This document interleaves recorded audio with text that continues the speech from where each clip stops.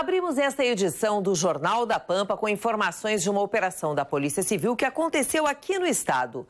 Foi desarticulado um grande esquema de lavagem de dinheiro aqui no Rio Grande do Sul.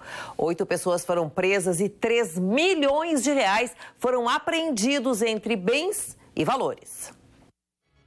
A organização criminosa era composta por dois grupos. Um responsável pelas casas de exploração de jogos de azar. O outro fazia a proteção armada dos locais. O esquema acabou se expandindo para 13 municípios gaúchos. Os usuários, eventualmente quem eh, acabava jogando, acabou diretamente incentivando o crescimento de, de, um grupo criminoso. Toda investigação iniciou a partir de uma ocorrência tratada como roubo na cidade de Sapiranga. Mas, na verdade, esse grupo criminoso invadia estabelecimentos de jogos de azar com ameaça e violência para expulsar os donos que não queriam participar desse esquema.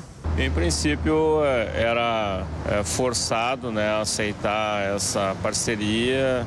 É, existia truculência na, na ação dos criminosos, que inclusive para forçar essa parceria, vamos dizer assim, acabava em alguns casos utilizando camisetas falsas da Polícia Civil para ir nos locais tirar as máquinas é, de outra de outra agremiação criminosa, por assim dizer, e, e depois ia oferecer segurança justamente na colocação das máquinas desse grupo criminoso. Oito pessoas foram presas, sendo uma delas o líder da organização. Porém, a polícia ainda procura 13 foragidos.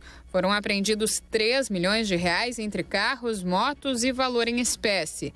As 55 ordens judiciais foram cumpridas em Sapiranga, Campo Bom, São Leopoldo e Caxias do Sul.